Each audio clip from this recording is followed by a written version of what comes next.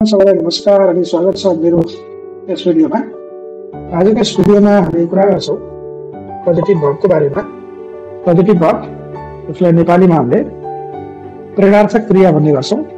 यस्तो खाले क्रियामा सब्जेक्टले आफै काम गर्दैन। उसले कुनै अर्को व्यक्ति या वस्तुबाट काम गराउँछ। त्यस्तो खाले क्रियाहरूलाई त्यस्तो खाले भवहरूलाई इङ्ग्लिसमा हामीले पोजिटिभ भव भनेर भन्ने गर्छौँ। So we have the causative verbs like in English यस्ता कजेटिभ भर्बहरूको लिस्टमा हामी हेर्न सक्छौँ गेट मेक ह्याभ र लेट भन्ने छ यस्ता अरू पनि भर्बहरू हुन सक्छन् तर मेन गरेर हामीले कजेटिभ भर्बको रूपमा गेटलाई मेकलाई र ह्याभलाई लिने गर्छौँ त्यसमा लेट पनि आउँछ तर थोरै फरक स्ट्रक्चरले फरक स्टाइलले हुन्छ यी सबैको आफ्नै स्ट्रक्चर आफ्नै रुल्सहरू छन् यस भिडियोमा हामीले तिनको स्ट्रक्चर इक्जाम्पल्सहरू र अन्तिममा गएर हामीले चाहिँ त्यसमा चाहिँ प्रयोग भएका इक्जाम्पल्सहरू हेर्छौँ। भिडियोलाई सुरुदेखि लास्टसम्म हेर्नु होला। र त्यसपछि केही कुराहरू समझमा आएन भने फेरि कमेन्टमा सोध्नु होला। Just keep on helping all of you भिडियोलाई सुरु गरौँ। पहिलो भर्स गेटबाट गेटको दुईवटा रुल्स हामीसँग रुल नम्बर वान त्यसमा हामीले हेर्न सक्छौँ कि सब्जेक्टको साथमा गेट भन्ने पोजिटिभ हुन्छ त्यसपछि चाहिँ एजेन्ट हुन्छ।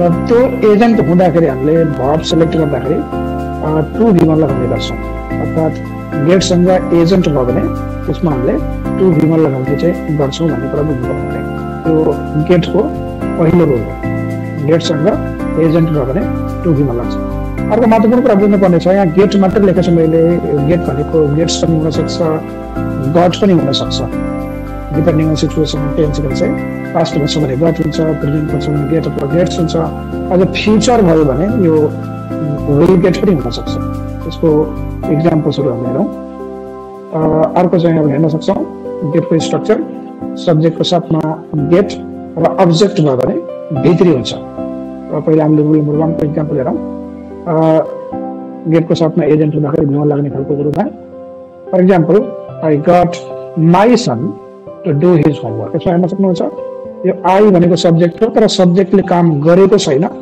आफ्नो छोरालाई कामहरूले गराइराखेको छ। के काम गराइराखेको छ भन्नुहुन्छ भने होमवर्क गर्ने काम गराइराखेको छ। So I got my son to do his homework यसमा गडको साथमा माई सन एजेन्ट छ जसले काम गरिरहेको छ। त्यसको साथमा हामीले टु डीमा लगाउने काम गरेका छौँ।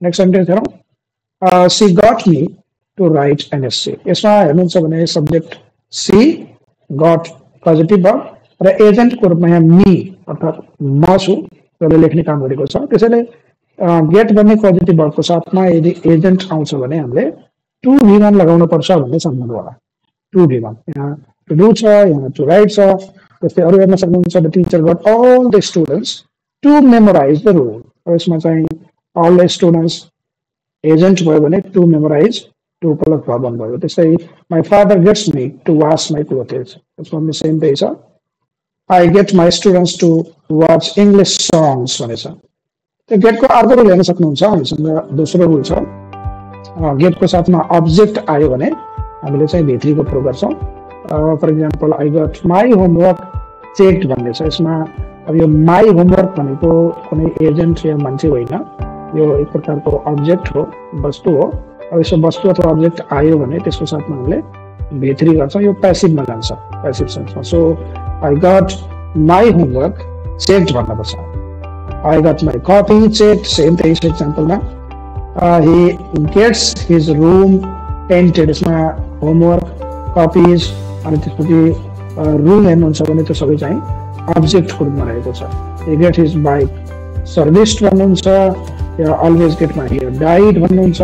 They are all the example of object plus भित्री विथ गेट कन्सेप्ट दोस्रो नियम गेटको साथमा अब्जेक्ट आयो भने भित्री लगाउनुपर्छ भन्ने सम्झनु होला यो भयो गेटको नियम है अब मेकको पनि त्यस्तै हामीसँग दुईवटा रुल छ एउटा चाहिँ रुल नम्बर वानमा मेकसँग एजेन्ट आयो भने भिमन लाग्छ भन्ने र अर्को चाहिँ यसको प्यासिभमा जाँदाखेरि सब्जेक्ट हुन्छ त्यसपछि बी भर्ब लाग्छ बी भर्ब भनेको इज एमआर पास्टमा वाज गर्न सक्छ अनि मेड भयो भने यसमा एजेन्ट पनि हुँदैन अब्जेक्ट पनि हुँदैन त्यसको प्यासिभमा हामीले यसलाई टु भिमा लेख्नुपर्ने हुन्छ र पहिलोको इक्जाम्पल हेरौँ यसमा चाहिँ मेकको साथमा एजेन्ट आउँदाखेरि भिमा लाग्छ भन्ने कुरा।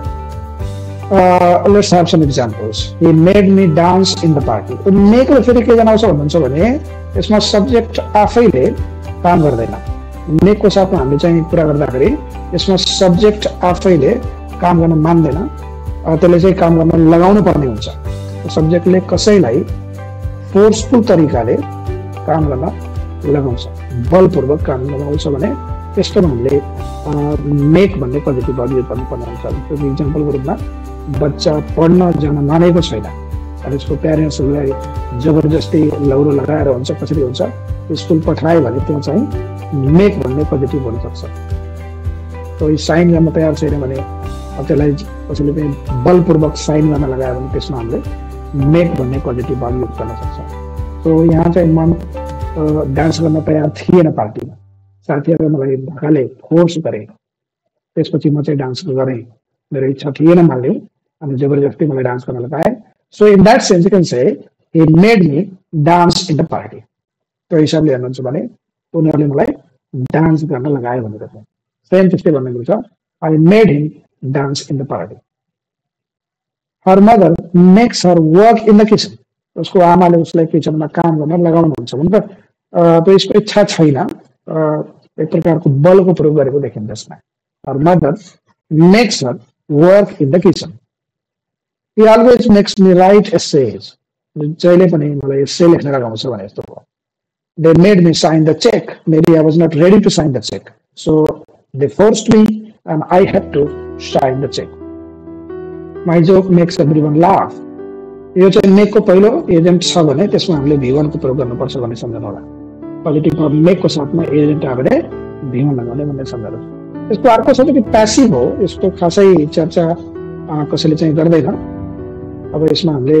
कुरा गर्न सक्छौँ जस्तो कि पोजिटिभ भर्ब मेकको प्यासिभमा जाँदाखेरि होइन सब्जेक्टको साथमा बी भर्ब अनि made plus to plus V भन्ने छ पहिला हामीले प्यासिभमा लैजाँदाखेरि यसमा हेर्न सक्नुहुन्छ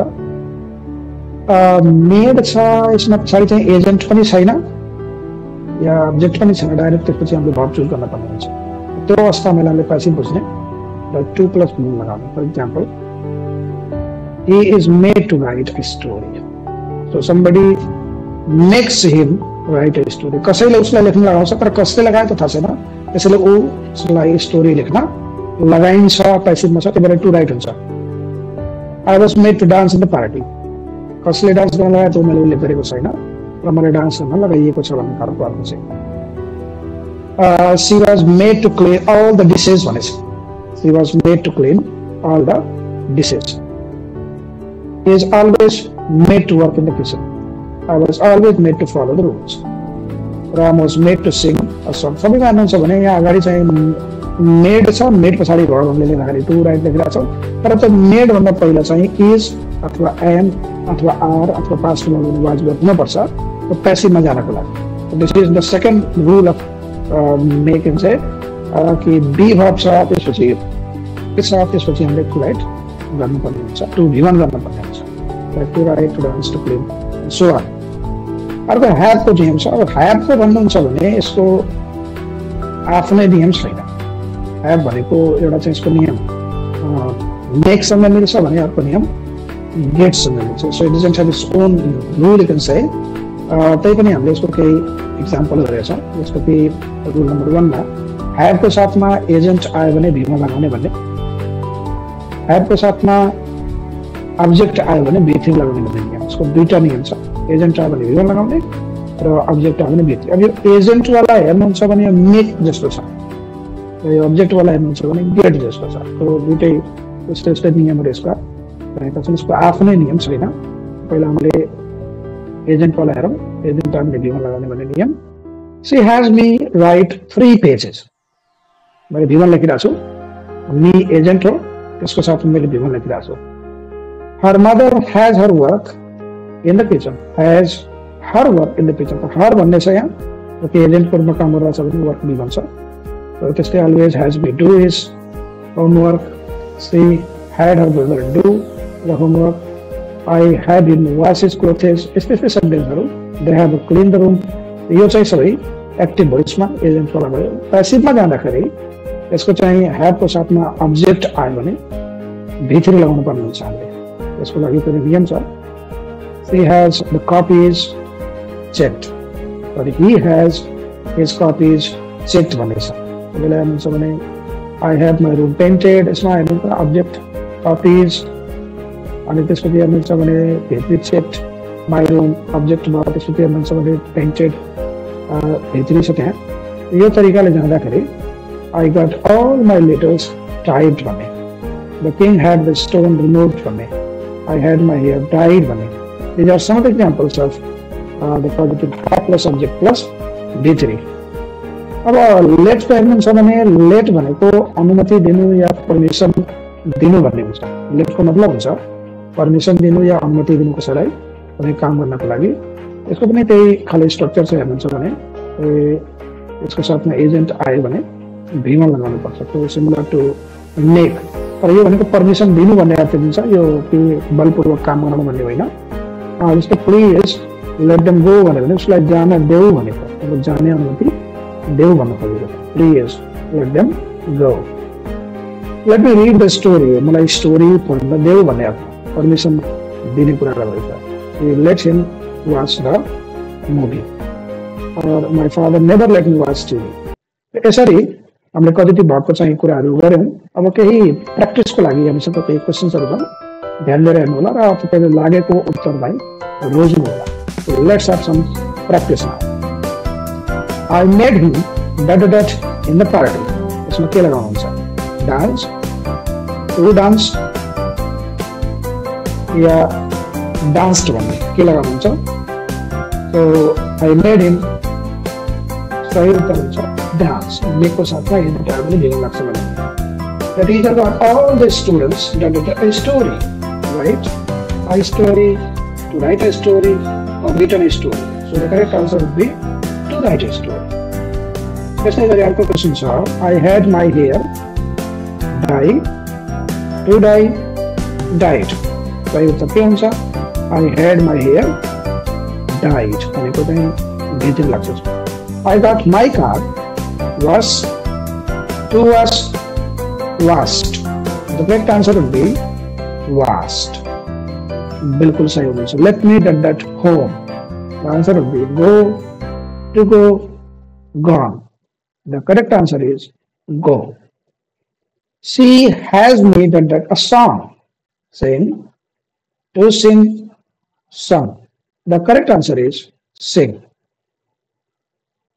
i was made that the, the rules options follow to follow followed the correct answer is to follow made को passive voice में लगाकर to plus भी होना चाहिए बनने वाला she got me the, the letters type to type typed the correct answer is to type thank you very much for watching the video यहाँसम्म हेर्नुभएको धन्यवाद छ र यो भिडियो मन परेको छ भने त्यसलाई लाइक गर्नुहोला साथीहरूसँग सेयर गर्नुहोला यदि नयाँ हुनुहुन्छ भने त्यसलाई पक्कै पनि सब्सक्राइब गर्नुहोला र केही कुरा सोध्नु छ भने कमेन्ट सेक्सनमा कमेन्ट गर्नुहोला thank you very much see in the next video bye